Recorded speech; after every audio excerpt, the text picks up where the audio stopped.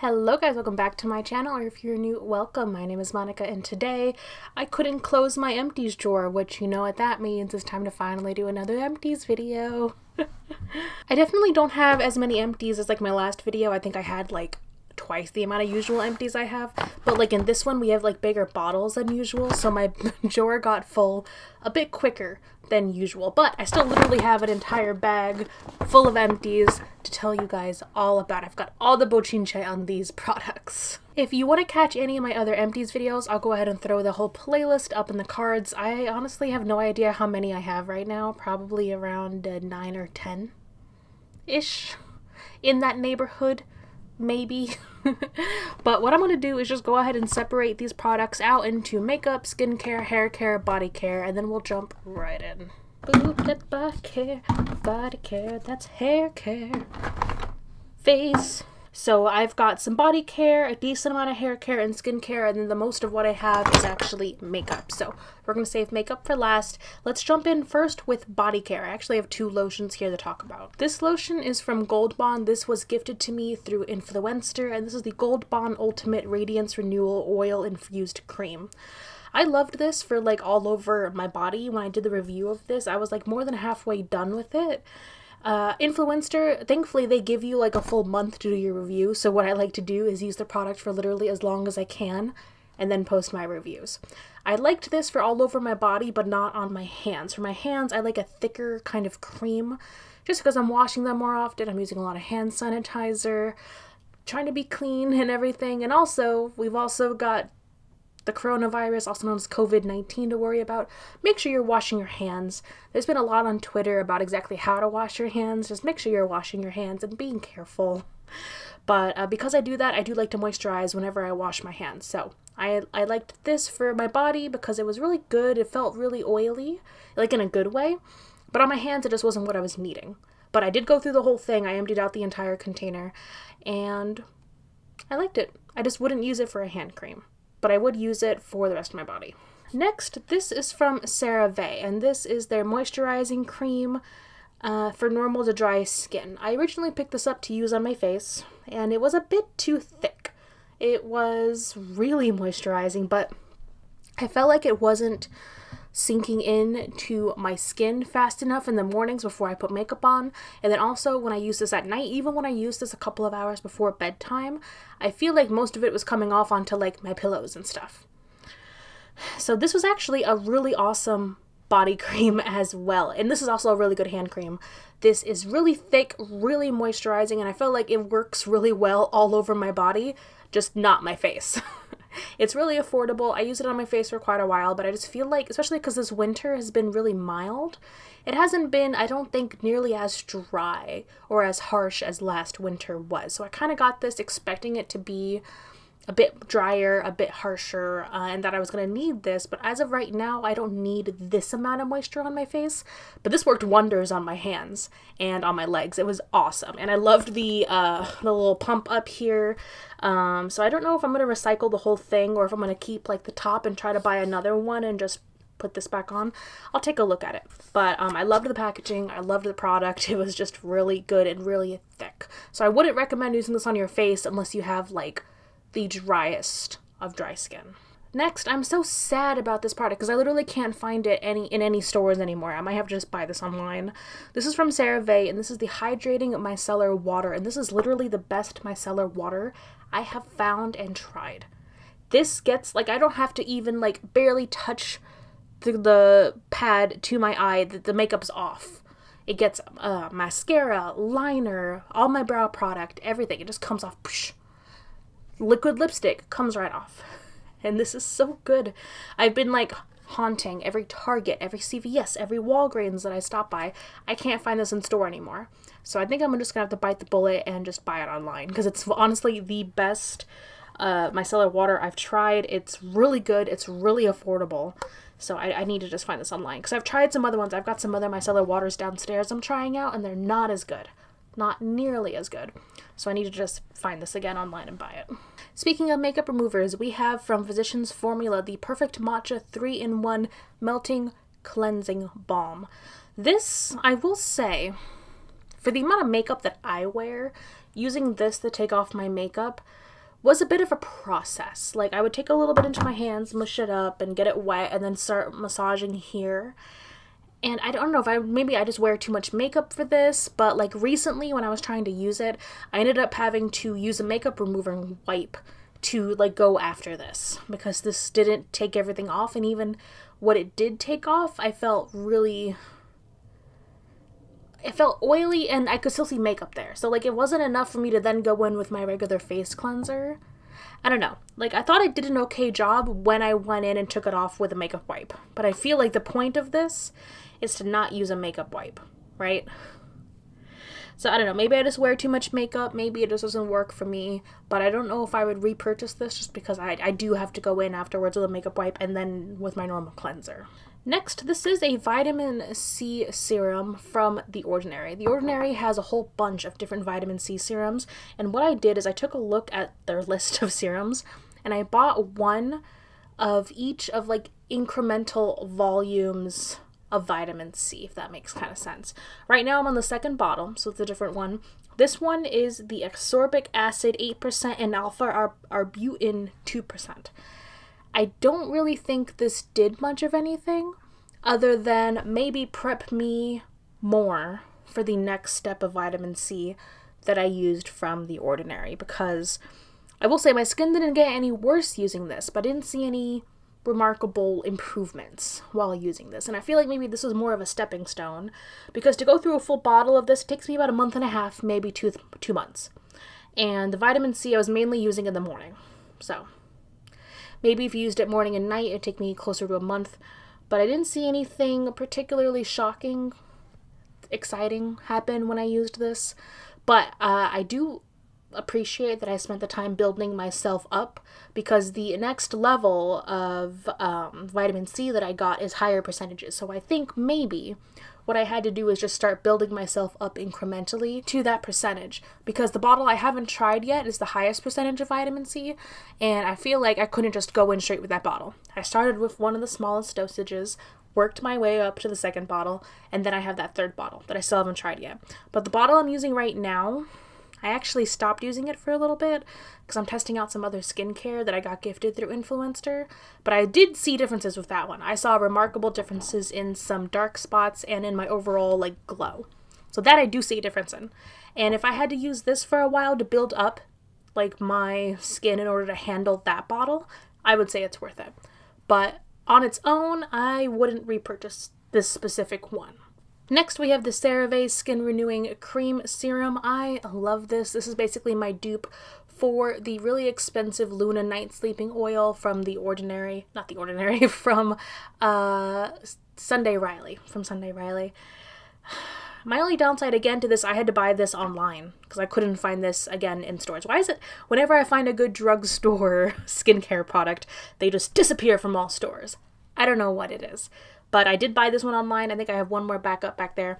I did stop using this recently. Again, I'm trying out some different skincare, but I, I love this. I've seen this work just as well as that Luna oil, and I will continue to buy this. I actually got this on Amazon, so if you're interested, I'll link the Amazon link that I found, because I forgot if it's a pack of two or if I just bought it twice, but I can only now find it like on Amazon. Last for skincare, I have this uh, agave nighttime lip therapy from Bite. This is actually like one of my favorite lip treatments I've ever tried. I loved using this right before bed. I would basically slather it on. I felt moisturized. I felt like it stayed on and sunk in slowly, and so it was perfect for nighttime. And oh, I loved it. And sometimes in the morning, if I was going to take my time and spend a long time on my makeup, I would put this on right before I started. So by the time I was ready for lipstick, it was totally sunken in and it just felt so good and moisturizing. This I would buy on its own. I like this better than any other Bite product that I've tried. So, uh, this tiny little sample product, I got this as like a point reward through Sephora. This tiny little thing lasted me like a month. So, I would definitely look into a full size of this. I don't know what it cost, but I, I'm interested. It worked really well for me. Let's jump next into my hair care empties. I have quite a couple of different products here. First, let's go into one that I've already talked about because I've already gone through several of these.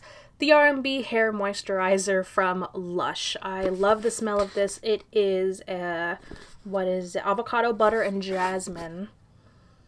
I think I got a little bit on my nose right here. but this is great. This jumbo size cost like 60 or $70, which I know is bananas. But I use this to deep condition my curls and it just works so well and it smells amazing and I love it. It's a little bit too heavy for styling unless you use it just on like your ends. It's super moisturizing. It's awesome. I actually bought another one. I know I said I wasn't going to. I actually got a um, $50 gift card to Lush for my birthday. Uh, so I used that and I only had to pay $20 for it. So I have another one back in my hair care little center. And I'm still using it, deep conditioned with it just the other day, and I still love it.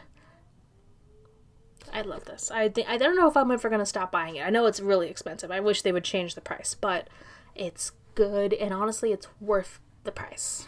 Next, let's talk about, oh, let's not drop it. Next, let's talk about two products from a line that I tried from Sally's. These are both from the Zotos All About Curls line. I have the No Lather Cleanser, and then I have the Bouncy Cream. I wasn't a huge fan of this Bouncy Cream. I felt like it was a bit too slimy for my hair.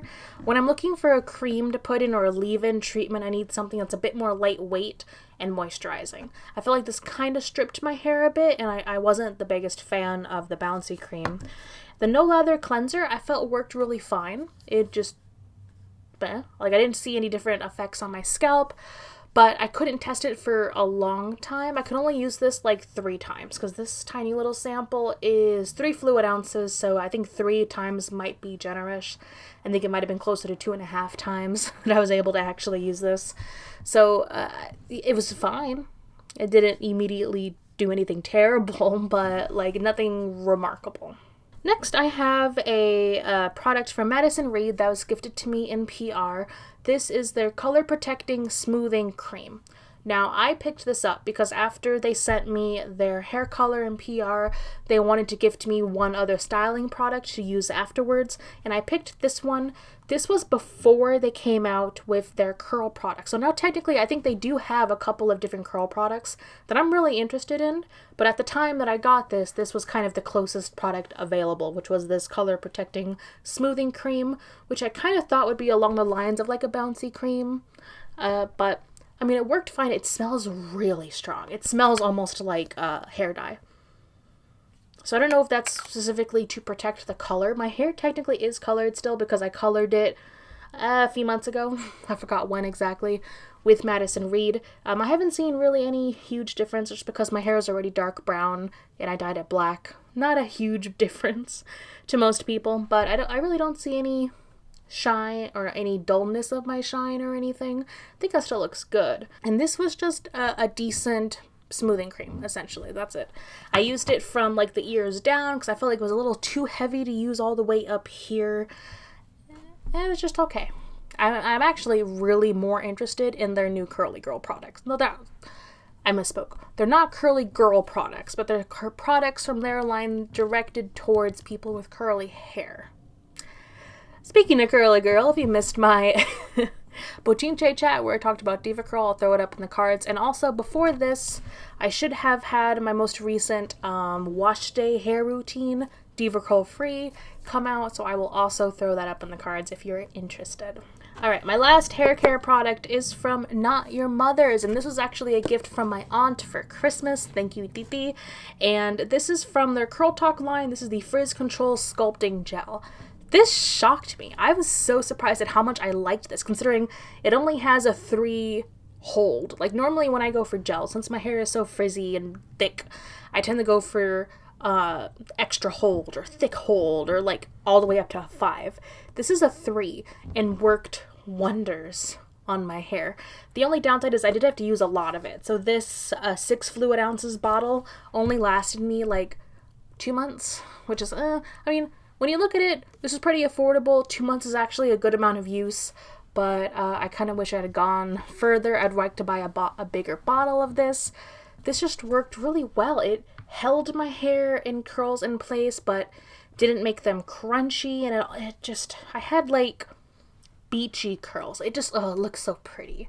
And I was shocked because normally I go for extra hold when it comes to my gels and not this. So this is definitely something I will be repurchasing. Okay, so let's switch over now to makeup. So, on to the makeup. I have quite a few foundations this time around, so let's jump straight in. First, I have my go-to white mixer because I am pale as Casper. this is from LA Girl. This is the Pro Coverage HD Longwear Illuminating Foundation just in the white shade. I can't even count how many of these I've gone through now. I tend to just buy them at CVS because they're always there, they're always in stock. I did try their other, they actually have a smaller bottle that is li- labeled as a white mixer. I didn't like that one as much as this one, so I tend to just stay with this one. It works really well. I like the packaging, I can scrape everything out. It's like $8 a bottle, and I always have one on hand. Uh, before we jump into the foundations, one more primer. This is an eye primer that I hated, and I just almost dropped it. This is from Fenty, and this is the just the eye primer, and I couldn't stand this. Every time I used this, I got weird, like chunky texture on my eyelids. Nothing blended on top of this. Nothing set on top of this. I, I was just so disappointed. I just couldn't get this to work at all, and so I used this for a couple of weeks, and then I just gave up and said I just can't. I can't. This didn't. This didn't work for me at all. So I think it's probably my first like overall Fenty fail. And the fly liner too. I wonder.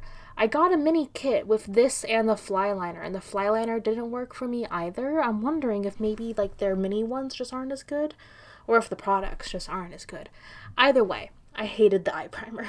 First foundation I'm going to talk about is one that I've already sung the praises of 10 times over. This is from AOA Studio, the Shop Miss in-house brand, and this is the Buildable Satin Foundation. The shade that works best for me right now is 301 Porcelain, which I believe is their lightest shade. I love this foundation. I just kind of wish they gave you the option to buy it in a bigger bottle because I go through this kind of quickly because it's so small.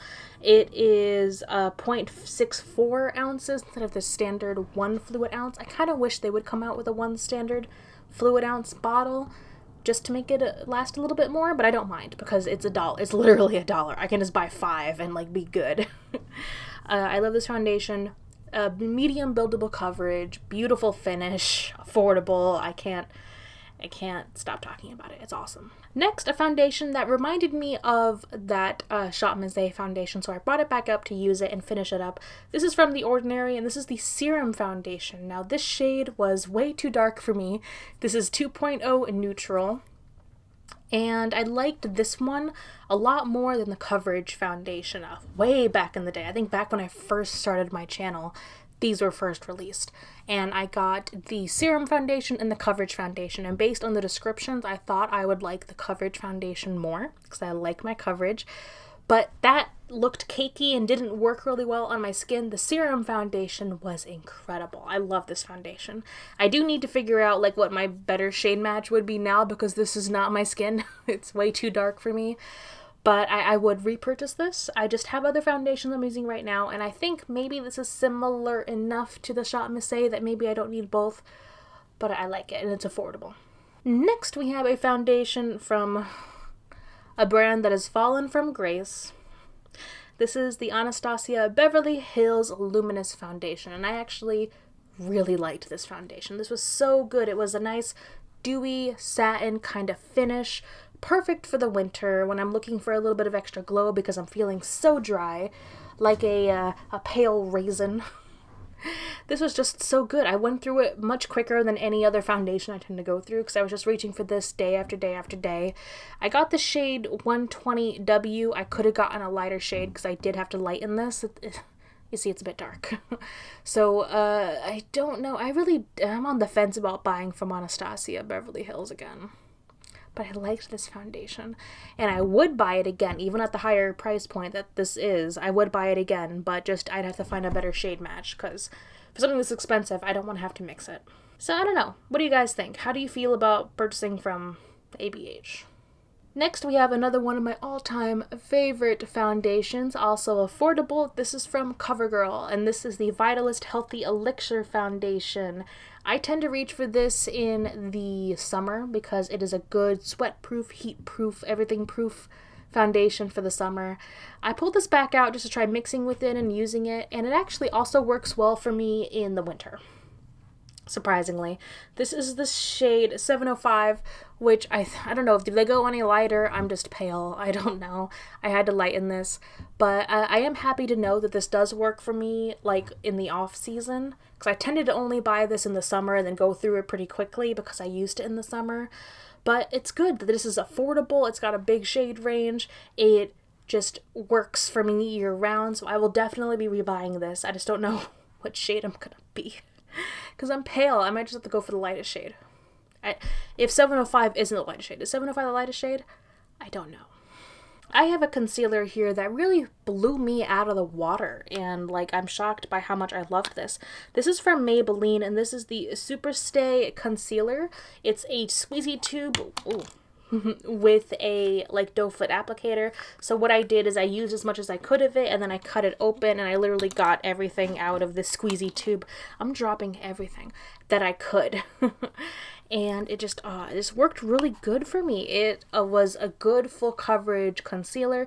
It tended to dry down mainly on its own. I only had to set it like a little bit, which is shocking for me. Normally foundation or concealers that work well for me don't really tend to dry down. The shade was a perfect match. The foundation just looked great after even a full 12 hour day at work. This was really good. I definitely need to rebuy this again. I, I should I should go through the rest of the concealers in my concealer drawer because I have a lot of them at this point, but this is really good and I really want to rebuy it. Let's next talk about some face powders. I have my, of course, AOA Studio Perfect setting powder in the shade Soft Light. I've gone through a couple of these before.